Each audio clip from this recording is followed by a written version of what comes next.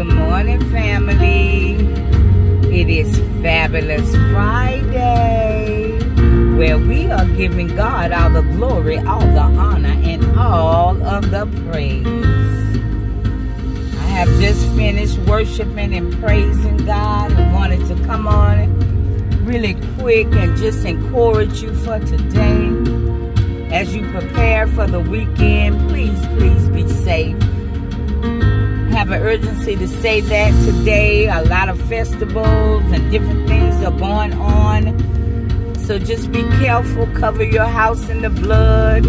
Cover your children in the blood. Father, we just thank you right now, Lord God. You said wherever two or three are gathered in your name, God, there you will be in the midst. Before we come before your throne of grace, oh God, we would like to repent of sins knowingly and unknowingly, Lord God. Oh, Father, we would like you to search our heart, try our thoughts, making sure that they're aligned with your word, your will, and your way, Father. Father, we recognize and realize that we can't do nothing if you don't do it through us, Father. And Father, we thank you that we realize that we are the head and not the tail, above only and not beneath. We're more than conquerors, Lord God. Oh, Father, we thank you that we're blessed when we enter a place and we're blessed when we walk out. Father, let us be able to shine out, let our light shine, Lord God, in the midst of chaos, in the midst of darkness, Lord God.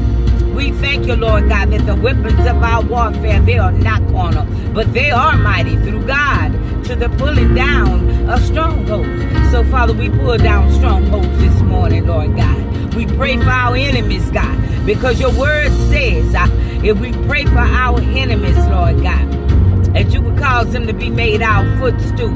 And when our enemies and foes come upon us to eat of our flesh, they're going to stumble and fall, Lord God. We bind the spirit of witchcraft. We come against voodoo. We come against divination, necromancy, Lord God. We bind the incantation right now in the name of Jesus and we send it back to the pits of hell for where it came, Lord God, in the name of Jesus, Lord God. We have power of life and death in our tongue, Lord God. So let us speak only those things that are edifying today. We don't believe the report of the doctors, Lord God. We use wisdom, though, but we don't believe the report because it's not so until you say it is, God. So, Lord, we thank you, Lord God that you are a healer. We thank you, Lord God, that you are a deliverer. We thank you, Lord God.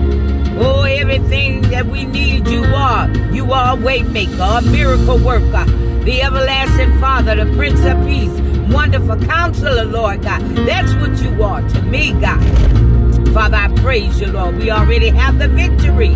We already won every battle, God. So I thank you, Lord, for your people this morning, God. I cover your people in the blood of Jesus, God. Satan, the blood is against you. Family, recognize and realize the enemy can't cross the bloodline. So, God, as I speak to the family, let me decrease while you increase in me, God. Where my ability ends, God, let yours kick in, Father God.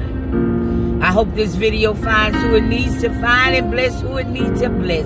We seal this prayer in the blood of Jesus. Good morning, family. Just coming in very quick. The lights may be bright. We all traveling along this highway to journey to our destination this morning. But look and knowing and, and realize, family, that this is not your destination. We're striving to get to that final destination, which is heaven. Just make sure you stay aligned and don't get off track. You make the difference. Don't let the difference make you.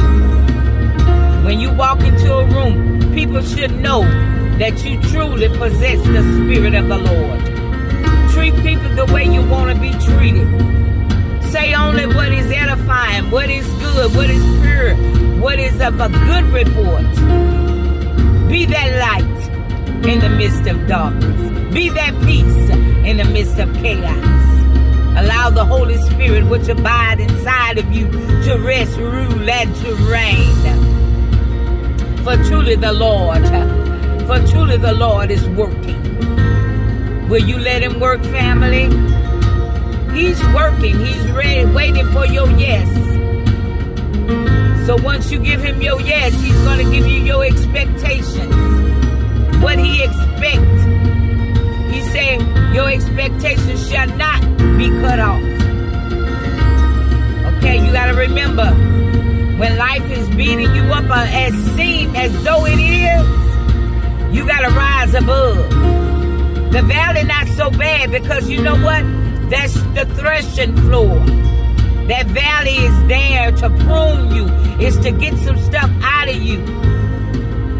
You know, I heard back in the month, I think it was February, sifting and shifting. God sift those in who he loves. He getting all the impurities out, all the lumps out. Because a little leaven leaven the, the whole lump. The whole loaf.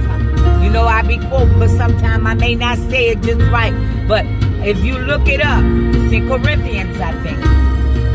In other words, we need to get all those impurities out, family. We need to let God do what he needs to do because we're about to face some things. I'm telling you, it's preparation time. It's time to stay before the Father. It's time to stay in our word. Anybody that's in your midst and all they want to do is talk about this and talk about that in a negative light, you need to detach and attach to God. Detach and attach to God. Detach from the gossip. Detach from the talebearing. Detach from the lies. Detach from the naysayers. And attach to God. Our elder brother is already on the right hand of the Father, making intercession. He gave his life for us. Don't throw in the towel. I feel like somebody want to throw in the towel. Say nothing I do is working. But I done told you, plead that blood of Jesus. And once that devil see that you know who you are and whose you are, and that you're not going to relinquish your heavenly rights, I'm not giving up my heavenly rights for nobody.